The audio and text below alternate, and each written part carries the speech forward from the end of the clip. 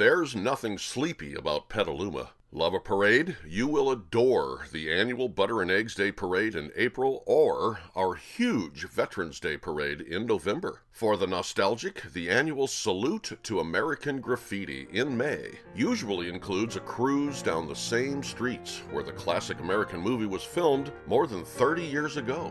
Don't think the world's ugliest dog contest at the Sonoma Marin Fair each June in Petaluma is just for animal lovers. It appeals to everyone with a sense of humor and compassion. The fair's headline entertainers usually draw a good crowd too. There's always an exhibition, concert, or performance going on in town. The Petaluma Arts Center has been known to have all three for the Arts Live program.